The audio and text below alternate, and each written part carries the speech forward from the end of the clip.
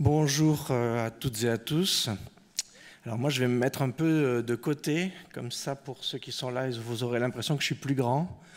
Mais ce n'est pas un effet de perspective. Euh, j'ai besoin d'être à côté de l'ordinateur. Alors, on va essayer de, de, demander au Dieu de la technologie de bien vouloir faire que tout se passe bien. Au Brésil, on appelle ça, enfin, on va faire une offrande à échou. Euh, ici, je ne sais pas à qui on va faire une offrande, mais on va euh, essayer de répondre positivement, jouer, le jeu. Alors,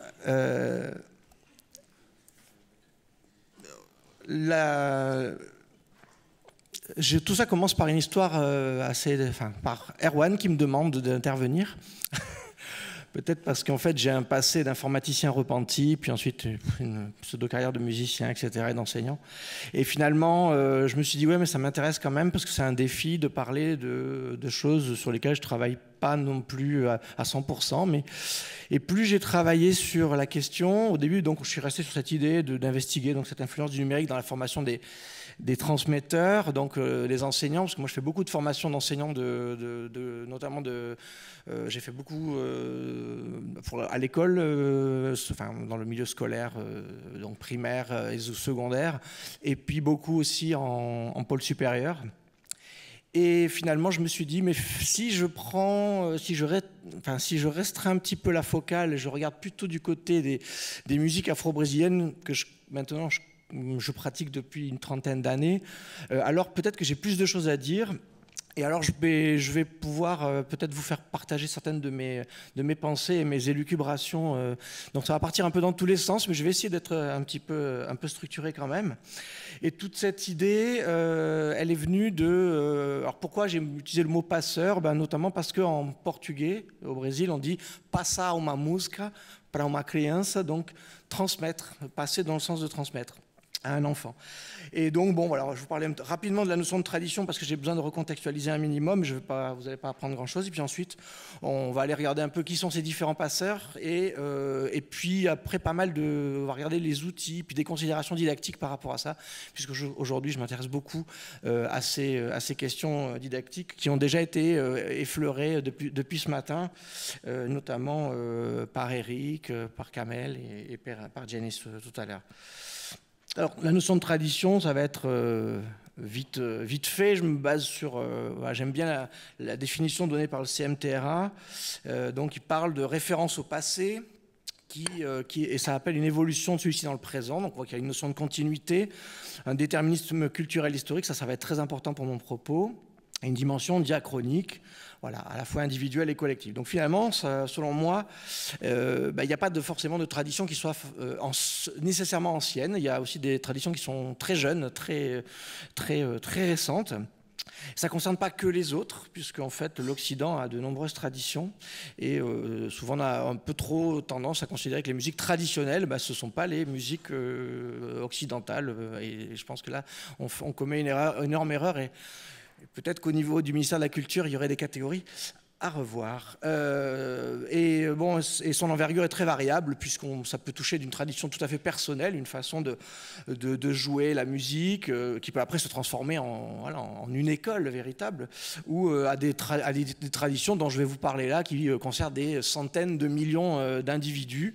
alors moi, je ne parlerai pas, trop de la musique savante occidentale, même si au départ c'est là-dedans que je suis, euh, que j'ai grandi, euh, mais plutôt des, musiques afro-brésiliennes. Et alors là, je ne sais carrément pas compter euh, combien de millions de personnes sont concernées par ça. Et, donc, tout ça pour dire que finalement, ce qui est intéressant, c'est de se dire que cette tradition, euh, elle a, j'aime bien, le, j'aime bien la, hum, le concept de Jean Viard de la société d'archipel. Euh, alors, je vous donnerai à la fin, je laisserai une biblio de, mes différentes références. Alors, je vais taper un peu partout. Hein.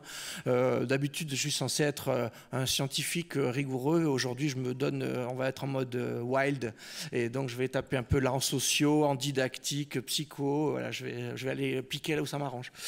donc là, Jean Viard, voilà, il parle, il dit que finalement, nous vivons dans, une société d'archipel, c'est que finalement, on vit ici, on a notre travail ici, ou, différents lieux de travail, on a une famille, un bout de famille qui est là, un bout qui est là, mais finalement, on ne sait pas ce qui se passe entre ces différents pôles, et que finalement, cet archipel, avec le numérique, qui commence à, grandir, grandir, grandir, et on, commence à avoir du mal à, en définir les, donc les, limites. Et c'est vrai qu'aujourd'hui, euh, alors c'était pas du tout mon propos il y a quelques années, j'étais un peu, orthodoxe bah, de la musique afro-brésilienne, et mais non, en fait, aujourd'hui, ce qui se passe en France en, termes de musique afro-brésilienne, eh ben, ça participe de cette tradition globale ou de ces traditions globales. C'est pas euh, un truc à part, euh, non connecté. Euh, donc ces traditions euh, sur lesquelles je, suis obligé de faire un tout petit coup, un petit bout de recontextualisation, euh, bah, c'est quand même, ça vient d'une période assez sombre, hein, juste une traite atlantique qui, a concerné pour le Brésil pas moins de 4 millions d'esclaves, dont, juste pour l'anecdote, environ 30% mouraient sur le bateau, hein, donc juste pour rien. Quoi. Bon, ce malheur a créé euh, de, beaux métissages tout, de même. Et, donc aujourd'hui, euh, au Brésil, moi j'ai recensé une centaine de traditions euh, brésiliennes, une centaine de traditions musique chant-danse. Et selon mes estimations, je pense que je me trompe d'un facteur au moins 3 ou 4. Je pense qu'il y a au moins 300 ou 400 traditions au Brésil. Voilà, c'est absolument gigantesque. Et euh, les caractéristiques de, ces, de celles des musiques afro-brésiliennes, je vais recentrer un peu sur la dimension afro, euh, c'est qu'il y a du chant, de la danse et de la percussion en général, que les métriques sont non isochrones. Hein, donc pour les, la musique savante occidentale, on parlerait de musique euh, dite impaire même si pour moi ça ne me convient pas du tout, mais bon.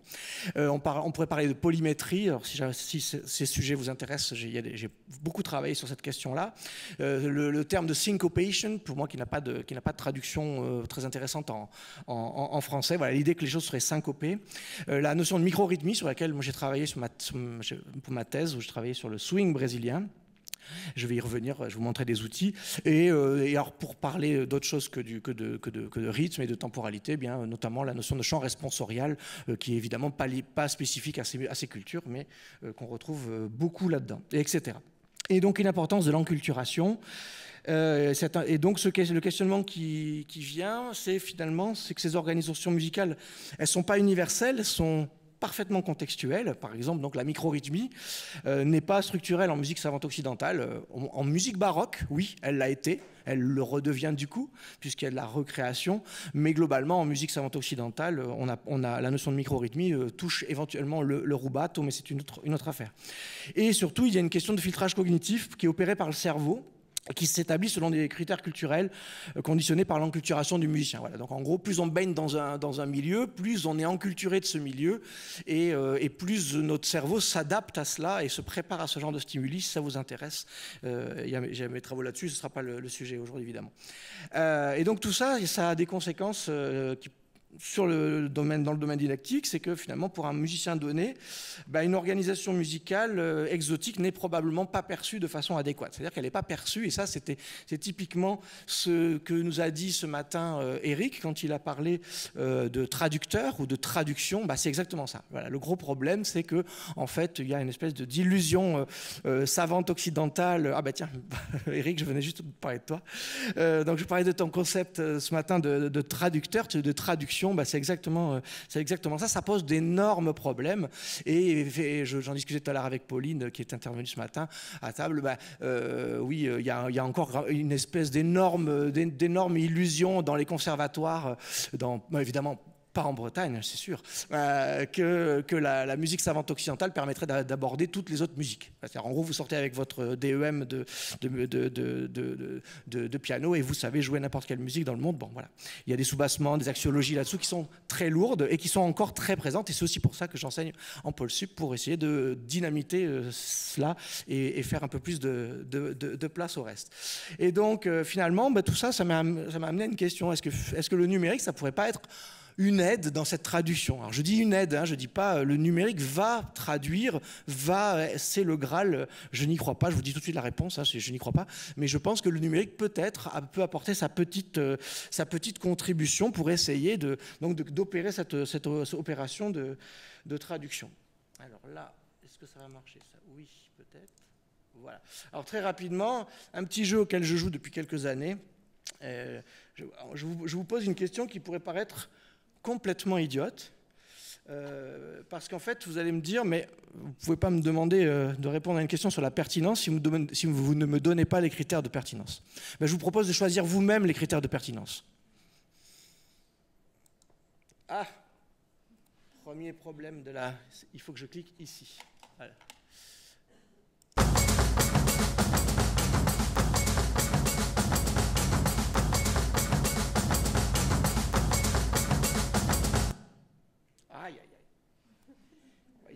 On va y arriver. Il faut juste que je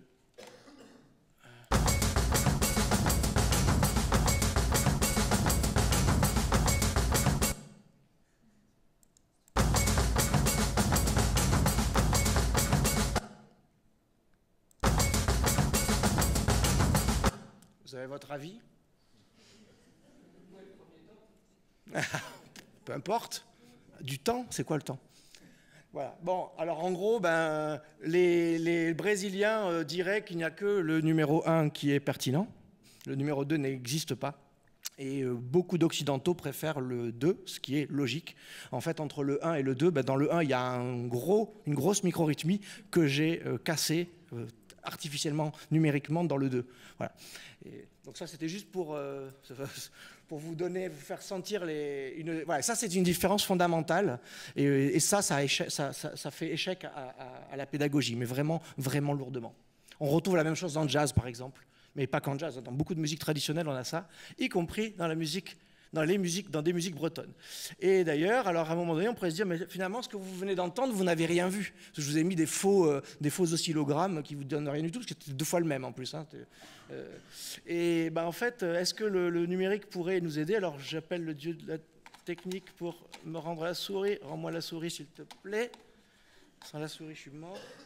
je vais le faire sans souris, ok, d'accord, ça marche. Euh, non, il veut pas. Si ça est, j'ai récupéré la souris il faut dire que je prends des risques. Hein. ce, sont des, animations Flash intégrées dans du PowerPoint. Bon, sachant que Flash est considéré comme une technologie obsolète, mais ça marche.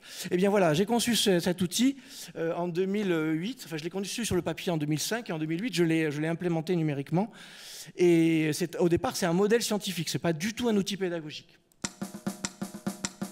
Donc là, ça vous montre ce qu'on appellerait un swing médian, c'est-à-dire entre les deux. Et en gros, on peut jouer avec, c'est-à-dire on peut choisir un swing un peu plus binaire. Est-ce qu'on peut monter un tout petit poil plus le son, s'il vous plaît? Merci Mais on peut choisir aussi.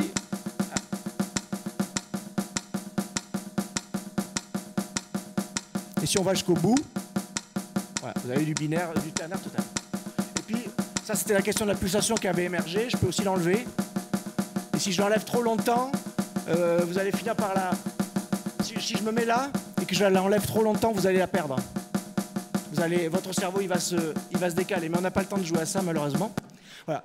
Alors cet outil que j'ai conçu euh, pour des raisons scientifiques, c'était l'histoire de modéliser, de montrer quelles étaient mes idées en la matière. Eh bien, en fait, c'est devenu un outil didactique, mais, à mon insu.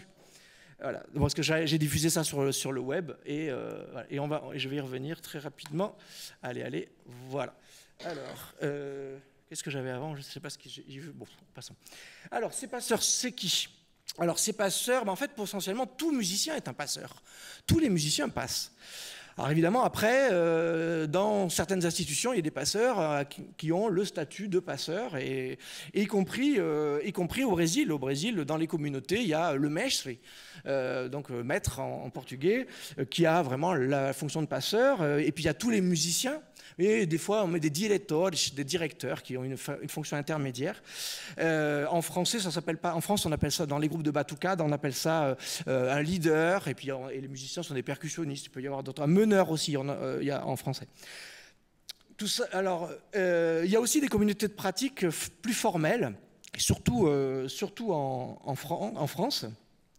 Donc, dans l'enseignement spécialisé, donc on a des professeurs d'enseignement spécialisé, et là, ce sont des gens que l'on forme essentiellement à la dictatique. Une partie de mon travail, c'est de les former à la didactique. Je ne leur enseigne pas leur instrument. Enfin, je veux dire, je serais bien incapable de, former quelqu'un au, au, clavecin, euh, ni, ou, à, la, viole de gambe, euh, ou au saxo jazz. Mais par contre, on peut travailler sur la didactique. Euh, et donc, ce n'est pas, pas tant ces gens-là qui vont m'intéresser.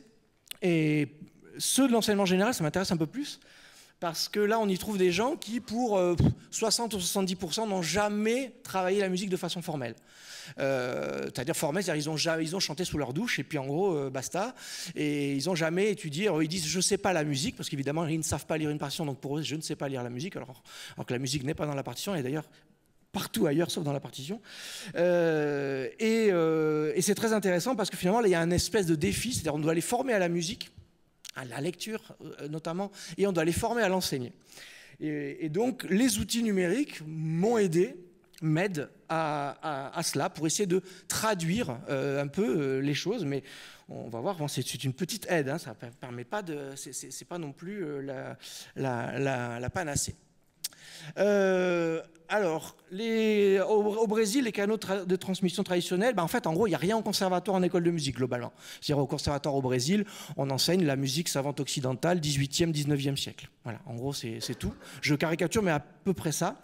En revanche, il y a de l'enseignement de musique traditionnelle dans les, euh, dans les communautés donc dans les écoles de samba, dans, les maracatu à Recife, etc. Euh, donc il y a des répétitions, des ensayos, qui sont en fait des moments où on joue, on apprend en faisant, et, ceux qui ne jouent pas sont en général à côté, ils regardent, ils écoutent. Euh, certains même font des gestes, on voit, des, musiciens faire des gestes de percussion comme ça, à côté, mais ils n'ont pas d'instrument. Mais en fait, ils savent qu'ils vont... D'abord, ça leur permet d'apprendre le geste, de vivre en contexte, et puis ils savent que si jamais à un moment donné, le musicien qui joue cet instrument, il n'est pas là, ou il part boire une bière, le maître qui a besoin va, prendre celui qu'il a, vu faire le geste pendant un moment pour le remplacer. C'est un moyen d'intégrer. Euh, et puis bon, on ils ont créé pas mal d'ateliers pour, enfants parce que finalement ils se sont rendus compte que la relève n'était pas forcément automatique. Et puis euh, évidemment le, tourisme euh, ayant beaucoup d'intérêt depuis les années 70-80, les, occidentaux s'intéressent beaucoup aux musiques brésiliennes, notamment à la fameuse batucade. Eh bien, ils ont commencé à créer des ateliers spécifiques pour les touristes. Et il y a quelques projets sociaux spécifiques qui sont un peu à mi-chemin entre des ONG, des projets de quartier, etc. et des communautés euh, il y a des nouveaux canaux, mais c'est surtout des vidéos sur le web. et puis elles sont enregistrées souvent par les musiciens de la communauté. Euh, on y trouve deux types de, savoirs en fait euh, numériques clairement aujourd'hui. Alors il y en a un qui est assez surprenant, c'est qu'il y a un tel problème de légitimation culturelle au Brésil qu'ils ont été obligés de promulguer une loi en 2003 pour dire il faut maintenant enseigner l'histoire afro-brésilienne à l'école. Ils ont promulgué une loi. Et cette loi fait que donc, les, les instits sont obligés de le faire. Et comme ils sont obligés de le faire, mais pas forcément formés, puisque la grande majorité, ils sont blancs, et donc ils n'ont pas de lien avec les, communautés afro-brésiliennes, mais qu'est-ce qu'ils font? Eh bien, enfin, Qu'est-ce qui s'est passé? Ben, Du coup, il y a eu tout un tas de propositions euh, euh, sur le net, donc soit des PDF, euh, des blogs, etc., qui parlent de cette... et puis des MOOC et des trucs payants. C'est-à-dire qu'il y a des gens qui font du business sur comment on va former les... répondre à la loi en formant les... Voilà, bon, c'est pas mon sujet, c'est ce que vous voyez à droite, par exemple. et puis ensuite, il y a évidemment ce qui nous intéresse un peu plus, les dimensions musicales et, chorégraphiques. On va voir un, premier exemple d'une musicienne de communauté si je retrouve ma souris, c'est ça. Hop, hop. Et là, ça marche. C'est la vidéo de présentation de toute une série de vidéos. Olá, sejam bem-vindos ao meu canal. Meu nome é Talita Santos, sou ritmista de algumas escolas aqui do Rio de Janeiro e também sou professora de tamborim. Donc elle dit qu'elle est professeure de tamborim, Mario? Para ajudar os alunos a ter um material didático para estudar em casa. Eu espero que esse material dit que vous pouvez travailler à la maison avec ça? Se você gostou da nossa proposta, ó, se inscreva no canal, ative Et alors qu'elle propose de s'abonner à la, à, sur YouTube, etc. E vocês também verão vídeos apresentando alguns produtos que eu uso aqui no canal, como essa camisa linda, o tamborim da Talita, Pele muda para você estudar em casa. E se você quiser conhecer mais sobre o trabalho, é só você acessar o site e me seguir voilà, et elle fait la promotion pour le site web, etc. Voilà, et donc c'est euh, typiquement, alors elle c'est une c'est une musicienne confirmée qui joue euh, qui joue dans qui serait l'équivalent de ce qu'on appelle j'ai dit tout à l'heure une directora, une directrice, c'est-à-dire qu'elle n'est pas maître parce qu'elle elle s'occupe d'une d'une section. Est-ce que je reprends la main ou pas, j'en sais rien. Yes. En France, pendant ce temps en France. Euh, en 85, euh, la première école de samba française euh, est, créée à Paris. Sous l'impulsion d'une brésilienne qui va venir faire son doctorat à la Sorbonne en sémiotique sur la batucade. Et euh, depuis, eh bien, ça a essaimé, comme vous le savez. Enfin, il est probable que personne d'entre vous n'ait. Euh, enfin, tout le monde d'entre vous, a rencontré déjà une batucade dans un carnaval ou dans une fête de village, etc., ou de ville. Et donc, dans ces centaines de groupes qui existent aujourd'hui, il y a euh, les, des on va dire, ceux qui, ont envie de suivre certains aspects et voir tous les aspects des traditions, et puis d'autres, la, grande majorité, qui s'en inspirent. Donc, et leurs sources, c'est plutôt des sources françaises. Ça fonctionne un peu en autonomie, euh, voire mixte. Ils prennent, ils prennent des trucs brésiliens, ils font venir un, intervenant brésilien à un moment donné, puis d'autres fois ils travaillent entre eux. Voilà. Euh, il y a eu donc les travaux de, ma consoeur Anaïs Vaillant en anthropologie de 2005 qui sont intéressants là-dessus. Et euh, aujourd'hui, on se rend compte ben, que la dimension traditionnaliste reprend du terrain. Alors, ce qu'elle reprend du terrain grâce au web, c'est pas impossible. C'est une hypothèse. pendant pendant toutes ces années, s'est créé notamment sur le web un, une espèce de portail des musiques euh, brésiliennes qui s'appelle Samba en France. Bon, il ne parle pas que de samba.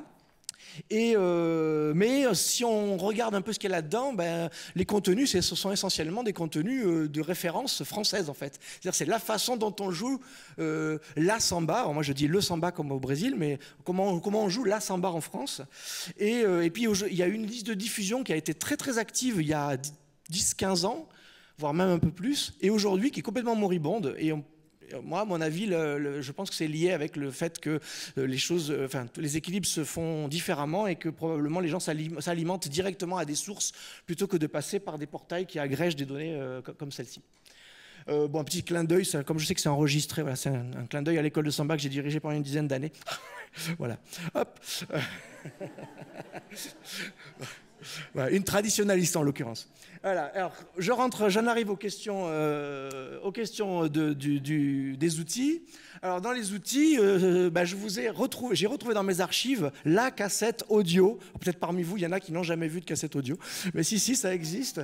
Euh, donc une cassette audio de, de, de, la première méthode, de la fameuse Tianicia dont j'ai parlé tout à l'heure, qui faisait sa thèse à la Sorbonne. et puis ensuite, bon, il y a eu tout un tas de, il y en a énormément il y en a eu énormément, et notamment, bien voilà, il y a eu des, il y a eu des des CD. Euh, maintenant, on a des, voilà, la méthode 2006. Euh, vous voyez, même 2006, j'aurais pu faire prendre des trucs plus récents encore, mais euh, j'avais envie de, parler de Jean-Christophe Jacquin, qui a, qui à mon sens, fait une des meilleures méthodes de samba, samba carioca qui, puisse exister, avec des DVD à la clé. Il est français, Cocorico, c'est bien. mais il y a plein d'autres, plein d'autres, dans plein d'autres pays, il y a eu aussi des choses très intéressantes. Euh, je reviens sur le, concept. Merci, euh, merci Janice, parce que je, en fait, je ne le connaissais pas. Je ne connaissais pas ce concept et du coup je l'ai découvert et ça, grâce à toi. Donc euh, la Triple Revolution, donc Internet, téléphonie mobile et réseaux sociaux.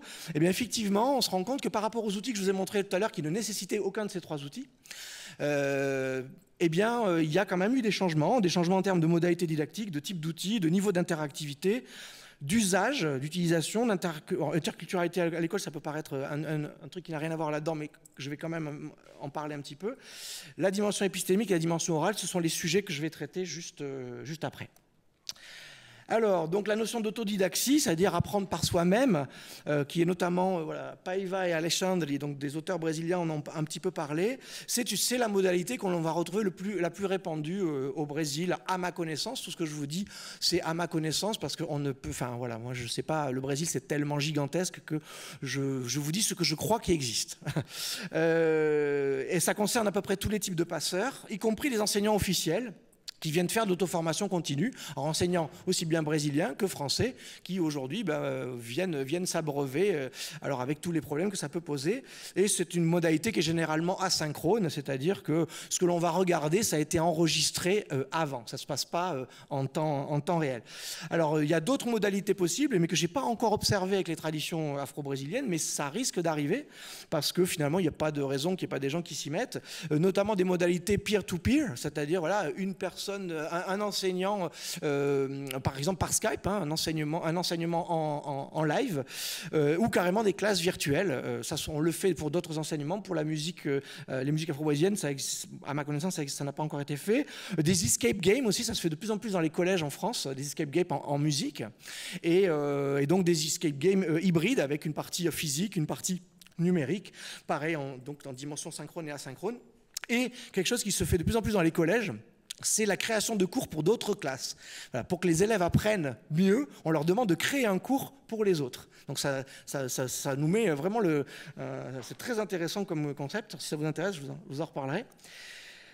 Les types d'outils numériques, bon évidemment, alors il y a des CD-ROM, euh, des DVD-ROM, en ligne, on a des sites web et notamment les, MOOC. Euh, les, formats, bah, initialement, c'est du texte. Hein. Vous savez que l'hypertexte, euh, c'est la, base, du web. Puis des objets graphiques. Je vais vous montrer euh, des, petits exemples.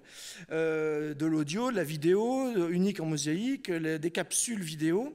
Je vais, vous montrer euh, juste après l'exemple. Et l'articulation, c'est que souvent les, outils sont, hybrides en fait. Les outils ils intègrent plusieurs modalités. C'est pas un outil qui fait que du texte. Enfin si autrefois, mais maintenant c'est fini. On a, de tout dans tout à peu près. Alors, euh, voilà, donc le, principe de la mosaïque, ça c'est quelque chose qui est assez nouveau. Parce que finalement, euh, bon, c'est pas spécifiquement numérique, mais on le voit beaucoup maintenant dans le domaine du numérique. C'est parce que bah, le, numérique, euh, aujourd'hui, vous avez des outils hyper simples pour faire ça, même des, outils sur, euh, sur iPhone. Vous pouvez faire vos, vidéos, vous mettez quatre vidéos synchrones, et ça, ça change pas mal la, donne, parce qu'on peut commencer à comprendre les relations entre les parties orchestrales. Et, c'est comme une sorte de, conducteur d'orchestre dynamique. Euh, c'est-à-dire, ben, pour, pour certains, il y a ça. Pour d'autres, euh, il y a ça. Et ben, ça apporte des, informations euh, finalement relativement, euh, relativement similaires. Alors, ce qui, dans les niveaux d'interactivité, aujourd'hui, on est encore dans des niveaux d'interactivité relativement bas. Qu'est-ce qu'on fait avec des vidéos ou avec du PDF On va gérer la temporalité. Alors si c'est pour un PDF, vous allez gérer la temporalité de votre lecture. Parfois, vous allez revenir en arrière, etc. Mais en gros, c'est tout. Donc l'action est assez, est assez limitée. Euh, la, navigation hypertexte ou hypermédia, le fameux surf, aujourd'hui quand on dit surf, on passe pour un has-been total, mais pourtant c'était bien ça qu'on disait que les navigateurs permettaient de surfer sur Internet, mais c'est bien l'idée hein, d'aller euh, d'une vague euh, sur une autre, etc. Eh bien, déjà c'est plus riche, parce que le, parcours, il n'est est pas didactiquement, il n'a pas été prévu à l'avance. Des fois, il est un peu guidé, mais souvent, on ne sait pas dans quel ordre vous allez cliquer sur quel lien, et d'ailleurs, vous le savez bien, si vous vous êtes retrouvé à 4h du matin en train de regarder des, vidéos de chats euh, sur Internet que vous ne maîtrisez pas vraiment complètement votre, votre navigation. Oui, moi aussi, ça m'est arrivé. Euh, et vous vous dites, ah bon, il est déjà 4h du matin, je suis en train de regarder, en fait, n'importe quoi. Voilà. Et, euh, et, maintenant, il y a même des algorithmes qui font en sorte de vous, capturer pour regarder n'importe quoi. si possible, pour vendre de la pub au passage. donc, les modifications dynamiques, on commence à gagner, c'est-à-dire faire en sorte que l'outil vous permette une véritable interaction. C'est-à-dire que l'outil, euh, vous ne gériez pas seulement la séquentialité, mais, aussi ce qu'il vous renvoie. Alors ça, est-ce qu'il est, est, connecté sur le web, ce, cet ordi, ou pas Ce que je peux faire, c'est je clique et on verra. Une technique euh, un peu, un bourrin, mais c'est jamais avec un peu de chance. Il a l'air. il a l'air. Est-ce qu'on aura le son? Je sais pas. Ah, par contre, il est connecté avec un débit. Euh, il y a des corbeaux qui font les allers-retours. Oh. Ah bon, d'accord, c'est vrai que c'est un site brésilien, mais quand même. Watcha Ah, voilà. Alors là, voilà, on vous propose une batteria de samba, c'est-à-dire un, orchestre de samba, comme on verrait au carnaval de Rio. Alors ce sont des orchestres qui font jusqu'à... Euh, le plus gros qu'on ait connu, c'est 450 percussionnistes, donc c'est un gros machin. Aujourd'hui, ils se limitent, hein, 300, ils arrêtent, parce qu'ils ont des soucis musicaux euh, quand même, pour arriver à synchroniser tout ça. Et alors en gros, pour vous donner une idée, voilà, à une époque, ils jouaient jusqu'à 400, 450 et euh, à 145 au tempo, 150 au tempo. Il hein. faut synchroniser tout ce monde-là. Donc ils se sont un peu calmés. Alors là, on vous propose en fait de jouer. Alors je sais pas, je vais prendre celui-ci. Donc là, il vous dit esquentando la batterie, ça veut dire je, on va préchauffer la batterie. C'est justement ce qui se passe euh, au, au, début du carnaval. On joue pendant une bonne heure avant le carnaval pour chauffer les musiciens. Ils sont, ils sont prêts après parce qu'ils vont jouer ensuite pendant une heure et demie sans arrêter, toujours au même tempo dont je vous ai parlé.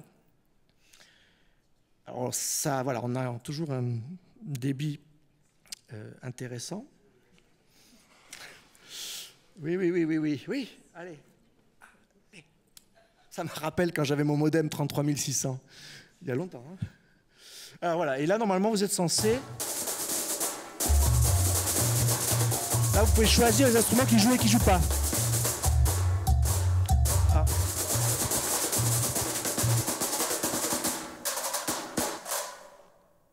ah oui, alors j'ai choisi les instruments qui jouent pas à ce moment-là, c'est bien.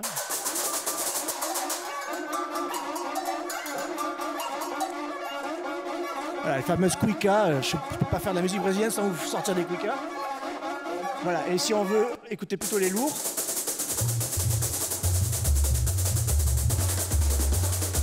Ah, ça, c'est les lourds. voilà, donc vous pouvez jouer avec ça. Bon, déjà, euh, c'est pas la panacée, mais déjà, ça permet euh, contrairement aux vidéos qu'on a vues tout à l'heure, vous ne pouvez pas choisir je veux écouter ça et ça. Là, vous pouvez, euh, vous, pouvez déjà beaucoup plus facilement euh, interagir. Hop, voilà. Euh, alors, il y a d'autres types d'outils comme cela. Alors, je ne sais pas si ça va marcher. Alors, tout à vous avez vu bon, bah, ma petite machine à swing sur laquelle, bon, il n'y a pas grand-chose à faire, mais on peut bouger. Alors, j'ai tenté. Euh, Qu'est-ce que j'ai foutu de la machine? Alors, la machine à inférence, je crois que je l'ai mise ailleurs. Je vous la montrerai tout à l'heure si je, si je peux. Alors, un concept qui m'intéressait, je vous avais dit que j'allais piquer vraiment à tout le monde. je vais piquer à, la philosophie, la philosophie, des objets techniques, Simondon 58, qui est vraiment une référence. Donc pour tous les gens qui travaillent sur le numérique, il faut vraiment lire Simondon. Alors lui, il fait la différence entre outil et instrument. C'est sa différence, hein. il y en a d'autres. Il dit qu'un outil, c'est un objet technique qui permet de prolonger et d'armer le corps pour accomplir un geste. Donc c'est la prolongation du geste. Et il dit, l'instrument, c'est la prolongation en fait de la perception. C'est-à-dire, un instrument, ça permet de mieux percevoir. C'est intéressant. Du coup, un instrument de musique, euh, voilà. Ça, c'est vraiment très intéressant comme concept. Et, si on prend cette typologie et qu'on l'applique aux outils qu'on vient de voir, on se rend compte que globalement, les outils numériques, ils sont surtout, euh, ils sont surtout des, outils de, perception. Ils ne sont pas vraiment des outils d'action. Vous ne performez pas avec réellement. Je veux dire, à la limite, je, fais, je, joue au petit DJ tout à l'heure en, en, choisissant mes, mes, mes, parties. Je peux, le faire, je peux le faire de façon un peu musicale. Bon, ok, mais ça ne va, pas, ça va pas super loin. Ok, Alors, désolé, il y a Google qui croit que je veux quelque chose. Non, je ne veux rien. Euh, ah oui, alors voilà, là, celle-ci, euh, le Dieu n'a pas voulu que je la fasse fonctionner en live, donc je vais essayer avec ce, puisqu'on a le web. Eh non, évidemment, ça aurait été trop facile. Je tente celle-ci. Peut-être aucune ne va marcher, donc vous ne verrez pas la machine, une autre machine qui permet de travailler sur la façon dont on entend la pulsation. Une question qui était tout à l'heure. Tant pis. Pas de chance, j'espérais bien, mais allez, c'est pas grave.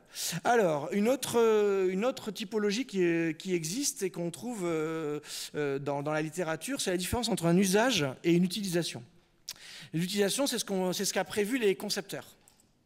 On appelle ça les fonctions constituantes. Et l'usage, c'est l'activité réelle de l'utilisateur. Qu'est-ce qu'il en fait de l'outil qu'on lui donne? C'est les fonctions constituées. Et alors ça, typiquement, ben, on voit qu'il y a beaucoup. Alors il y a un mot, je vous ai donné le, mot, si vous, voulez briller en, société pendant les cocktails, vous pouvez parler de catacrèse, c'est magnifique. Euh, mais en fait, on peut aussi parler de détournement. Et, euh, et, ça permet de décloisonner tout un tas de choses, c'est-à-dire finalement c'est tous ces outils qu'on va utiliser, pas pour du tout pour ce qu'ils ont été prévus, mais parce, et notamment, ben, euh, on voit beaucoup à l'école, dans les collèges, ben, les profs sont redoutablement inventifs pour aller piquer les outils à droite, à gauche et les euh, détourner complètement de leurs usages initiaux pour leurs besoins didactiques et notamment euh, pour la musique. Alors, dans les, détournements, par exemple, ben vous avez, vous le savez très bien, un certain nombre de vidéos de collectage qui ont, été prises pour collectage ou pour des raisons scientifiques et qui euh, vont ensuite être utilisées pour, euh, des raisons didactiques. Je ne dis pas que c'est mal, hein, je, que donne un fait. La fameuse machine à swing dont je vous ai, montré tout à l'heure, ben, typiquement, ça, c'est un truc, je sais aujourd'hui, que ça circule dans le monde des batucadas en France et que les gens s'en voient le lien pour, travailler. Ils travaillent le swing avec ça. Bon, ben, pourquoi pas. Ils m'ont même demandé des updates, mais je, ne travaille plus, je ne code plus sous Flash. Euh, L'interculturalité à, l'école, euh, j'ai voulu vraiment parler de ça parce que c'est d'abord parce que je viens de, sortir, enfin, on vient de poser un papier avec un ami euh, pour une revue. C'est intéressant parce que l'école, c'est quand même l'acteur majeur en, termes de, enfin, le vecteur majeur en termes d'interculturalité finalement. C'est là où on va voir le plus d'enfants parce que c'est l'école qui est dite obligatoire. Et, que finalement, ces enseignants, ils ont, un rôle très très important en termes de, passage de, culture et surtout en termes d'ouverture, parce que forcément, ce ne sont pas des spécialistes. Et euh, donc, le problème, c'est qu'on sait aussi qu'en didactique de la musique, pour comprendre une musique au sens large, c'est pour ça que je mets des guillemets, il faut la pratiquer. Et, ça, ça pose de gros soucis. Euh, et, donc, vous lisez, enfin, dans les programmes, par exemple, de l'école, euh, du collège, euh, donc les, derniers programmes en, cours sont les programmes de 2008, hein, euh, et ben dans les programmes de 2008, on vous dit qu'il faut pratiquer.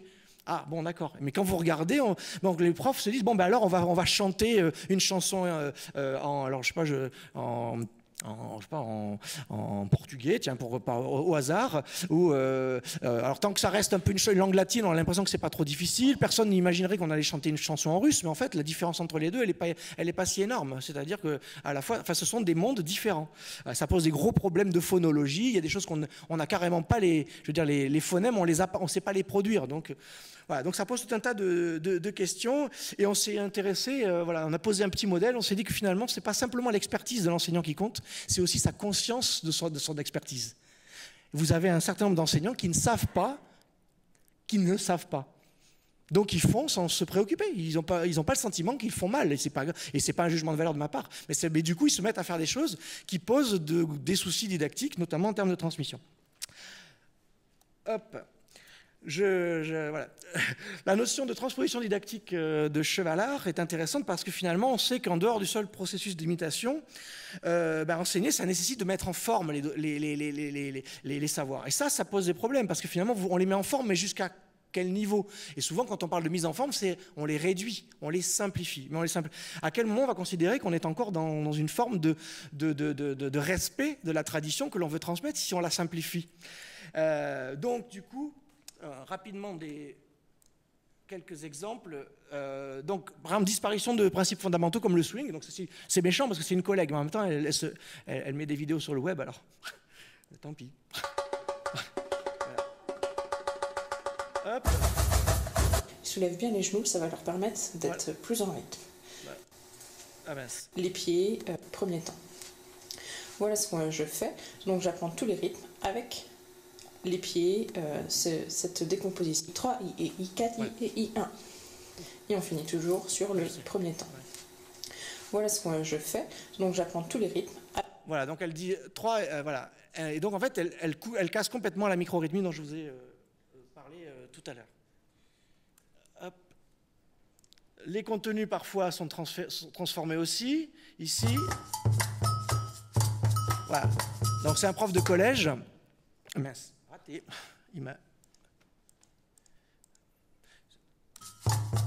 Ce rythme n'existe pas, enfin cette polyrythmie n'existe pas, nulle part.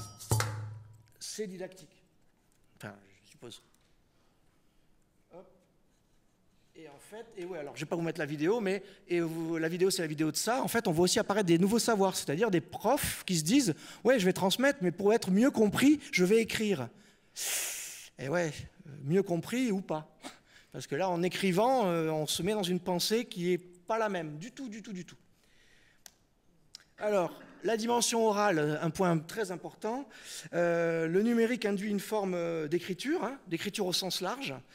donc un enregistrement vidéo, c'est une écriture. Donc il n'y a pas de partition, il y a des gestes visibles, ayant qu'il y a une illusion d'oralité. Mais c'est une illusion. Et donc j'ai repris le concept d'oralité seconde. Donc, merci Erwan pour l'interview de, Jean-Luc Tambly, parce que c'est pareil, je ne connaissais pas ce, concept. Et donc finalement que malgré l'illusion que tout est là, il existe une oralité qui se maintient dans l'implicite et dans l'indicible, ce que disait euh, Kamel Zécry ce matin, et qui doit être recréée en l'absence des sources initiales. Donc les baroqueux savent très bien de quoi je veux parler, évidemment, mais là on a, aussi ce problème, c'est qu'il y a cette illusion. Ben la vidéo nous donne tout, donc, euh, euh, on sait tout faire voyez, quand vous voyez euh, Talita Santos, là c'est moi qui l'ai décomposé, hein, euh, image par image, vous voyez, vous le, minutage, on est sur 2 minutes 40 secondes, 63 millièmes, 63 euh, centièmes, 90 centièmes, 27. On est sur des petits intervalles de temps, on pourrait se dire, bon ben là, à ce niveau, je vois tout. Ben non, pas du tout. Comme Kamel disait ce matin, euh, vous voyez pas ce qu'elle a mangé à midi, vous ne savez pas ce qu'elle partage culturellement. Et ça influence tout ça. Donc c'est voilà, il y a une espèce d'impossible dans tout ça. Donc, puisqu'il me faut conclure, évidemment. Euh, il y a les transformations didactiques qui sont, fameuses, qui sont induites par cette fameuse tri-révolution. Euh, chez les passeurs de musique afro-brésilienne, alors il y a beaucoup plus de conclusions que ce que je vais dire là, mais enfin bon, j'en ai repris quelques-unes. Alors ces passeurs sont nombreux et en diversification constante. Il y a une auto-légitimation par la présence sur le web, évidemment. Il en gros, n'importe qui peut venir balancer une vidéo et puis s'auto-légitime dans son acte. Oui, mais du coup, ça pose la question. Ce matin, euh, Eric parlait de, on parlait des sources, en fait. Euh, quelle source est euh, considérée comme ou comme ceci ou comme cela, éventuellement par des gens qui peuvent dire si ça, ça correspond ou ça correspond pas à une tradition. Enfin voilà, je m'embarque dans un sujet trop, trop délicat, j'arrête. donc les outils, l'accès instantané, encore plus important. Euh, réduit potentiellement, alors peut-être qu'on pourra en discuter avec Janice, mais ça réduit la dimension expérientielle quand même. Voilà. Peut-être ça peut suppléer aussi dans, certains cas. Euh, l'évolution des modalités de transmission, ça on l'a vu, l'intégration numérique. Bon, ces outils sont plutôt encore des instruments, il n'y a pas beaucoup d'interactivité, ça nous aide à percevoir mais pas vraiment à faire. Euh, alors, ces outils sont potentiellement nombreux, mais finalement, c'est encore la vidéo qui a, le, dessus. Les outils interactifs que je vous ai montrés tout à l'heure, bah, ça demande de, de, coder, quoi. Donc, euh, soit vous savez le faire vous-même, soit vous ne savez pas le faire, et dans ce cas-là, ben, c'est plus compliqué, ça coûte des sous, enfin, où il faut des gens compétents qui veulent bien travailler gratos. Euh, et certains sont détournés de leur destination première à des fins didactiques. Et, euh, donc, évidemment, en termes d'oralité, l'illusion est tenue par la vidéo. Et donc, en termes d'autorité épistémique, autrefois, on avait des maîtres qui étaient reconnus par la communauté. Et aujourd'hui, chacun peut tourner une vidéo et chacun devient quelque part un maître. chacun apporte un, savoir d'autorité. Et puis, et puis, vous voyez, quelqu'un qui connaît rien à la musique brésilienne, bon, alors en l'occurrence, ce que je vous ai montré Talita Santos, elle est tout à fait, entre guillemets, légitime. En tout cas, moi, je la considère comme telle. Mais, euh, parce que c'est, mais sa vidéo est super bien produite, c'est pas fait dans la cuisine. Mais si quelqu'un disait n'importe quoi avec une vidéo super bien produite, quelqu'un qui connaît rien dirait ça a l'air sérieux. et eh oui, et eh ben, ou pas. Euh, donc les paradoxes que ça entraîne, j'en ai cité trois, mais il y en a plein d'autres. Et d'un côté, on augmente la portée, mais à côté, de l'autre côté, on affaiblit l'autorité épistémique. Euh, d'un côté, on accélère la diffusion, de l'autre côté, on est quand même sur des apprentissages au temps long. Toutes ces musiques, elles s'apprennent en passant des heures et des heures et des heures en répétition chaque semaine. Euh, et puis en mangeant des choses, etc. La démocratisation qu'elle amène, euh, c'est un problème aussi en termes de risque d'accélération des transformations. Alors risque, j'en sais rien, puisqu'on a dit qu'une tradition, ça doit évoluer. Mais là, les traditions, elles évoluent très très vite, et certains plus conservateurs vont parler de dilution des codes. C'est-à-dire que finalement, comme tout le monde peut raconter peu n'importe quoi, bah, ça peut se diluer. Alors peut-être une nouvelle réalité, bah, c'est que le numérique aujourd'hui est assimilé par le mécanisme ontologique des traditions euh, comme une composante de leur dynamique évolutive. Finalement, le, numérique intègre petit à petit les, traditions et les traditions vont muter nécessairement avec ça, plus, ou moins vite. Et alors voilà, et pour terminer, une petite mise en abîme. Voilà, c'est un MOOC dont le titre est La musique au-delà du numérique. Donc en fait, on peut faire soit suivre un MOOC sur Internet pour comprendre quelle musique se situe au-delà du numérique, ça c'est intéressant quand même, je ne dis pas qu'il est mal fait, hein. c'est juste j'ai trouvé ça drôle. Ou alors, on peut plutôt aller lever le nez de l'écran et puis aller jouer avec de la musique avec les amis. Et ça, ça me paraît euh, peut-être une, une alternative. voilà. Donc, les, les références dont je vous ai parlé, je vous remercie beaucoup.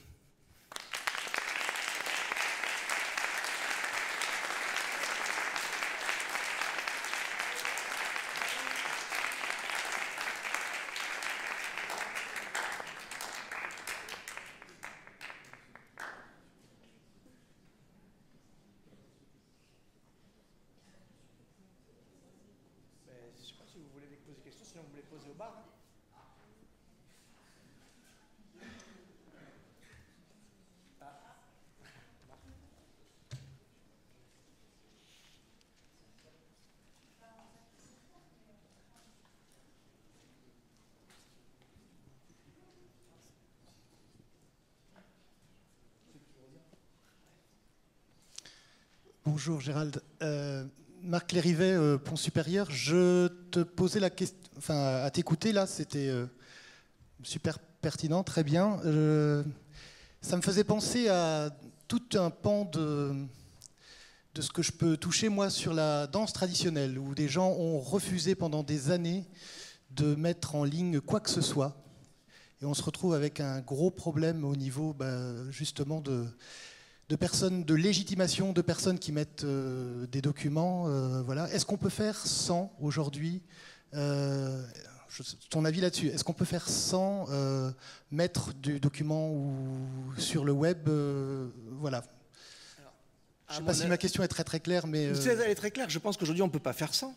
Parce que de toute façon, le web est là, euh, alors, à moins que l'extinction qui, va bientôt arriver euh, nous, rattrape euh, plus vite que prévu, le web est là, et donc de toute façon, ça a été dit plusieurs fois aujourd'hui, on n'empêchera jamais la belle-mère de filmer un mariage où il y a une, danse traditionnelle plus ou moins correspondante à des canons qui seraient acceptés ou pas par la, communauté. Et puis, et de toute façon, moi, moi, je ne sais pas dire, je pense qu'on ne peut rien faire contre. Euh, ce qu'on peut faire, c'est faire avec et se dire bah, que euh, euh, essayer d'être, de faire en sorte que les, que les, que les canaux plus officiels qui veulent porter une parole. Alors attention, je, marche sur des œufs avec Eric sur la question de la de l'axiologie, de la morale, en tout cas de, de ce qui pourrait être une une considéré comme quelque chose d'acceptable pour une communauté. Mais effectivement, ce que j'ai vu ce matin, les exemples de, sites web qui m'ont paru vraiment magnifiques, bah, ça, c'est un moyen de, dire, bon ben voilà, euh, une, autorité euh, épistémique officiellement reconnue propose des contenus qui ont été sélectionnés par des spécialistes. Bon, voilà, spécialistes qui sont peut-être auto-légitimés ou pas, j'en sais rien, mais ça, on a toujours le même problème. Mais de toute façon, on peut rien faire. Les, millions de vidéos sont là, et donc euh, ce sera bon. Voilà. Donc pas de réponse du coup à...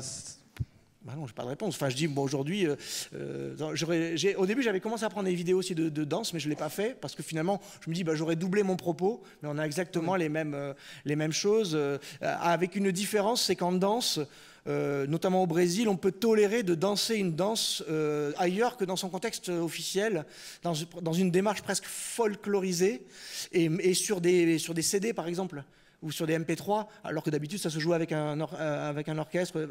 Donc ça pose encore euh, d'autres problématiques. Non, je suis malheureusement pas de, de, réponse à ça.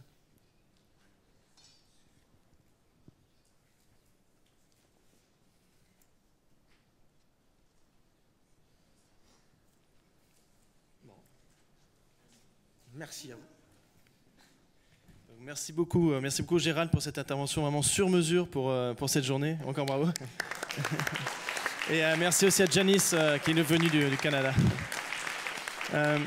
Juste pour parler du déroulement, alors justement par rapport aux, questions, aux intervenants, aux contributions, aux remarques, aux, liens que vous pouvez faire avec vos expériences aussi pour les partager pour l'avoir vécu, puis je pense que vous l'avez aussi vécu euh, à d'autres occasions, c'est souvent sur la route du retour ou le lendemain qu'on se dit ah, mais tiens mais oui est-ce que je pourrais avoir à nouveau telle référence, je pourrais poser telle question? Et là c'est possible grâce au miracle technologique. non non c'est que le petit machin qui s'affiche un peu partout sur euh, sli.do, euh, il va rester ouvert plusieurs jours et ça ne restera pas à lettre morte, c'est-à-dire que je m'occuperai, je m'engage personnellement, à ce qu'il y ait des réponses et aller vers les intervenants à nouveau pour leur poser euh, les questions et qu'il y ait des réponses qui soient apportées. Sur la page, sur le groupe Facebook aussi du colloque, euh, il va y avoir pareil un partage des, contributions. Donc si vous voulez contribuer dans les heures ou jours qui viennent, n'hésitez pas. Euh, c'est possible et ça ne perdra pas dans le cyberspace. Au niveau de l'organisation concrète de la suite de l'après-midi, je ne vous cache pas qu'on a un petit retard, voilà, tout à fait. Euh, relatif, mais il est quand même là. Donc ce qu'on va faire, c'est qu'on va prendre la pause tout de suite. Donc on va garder les 10 minutes de pause euh, qu'on a décidé de sanctuariser. Et, par contre, on va faire la présentation, donc vous dévoiler les, premières images, les premiers usages du portail des musiques modales de Drôme. Donc il travaille dessus depuis plusieurs années. Gérald d'ailleurs faisait partie du, comité euh, scientifique qui a accompagné Drôme dans, ce travail-là.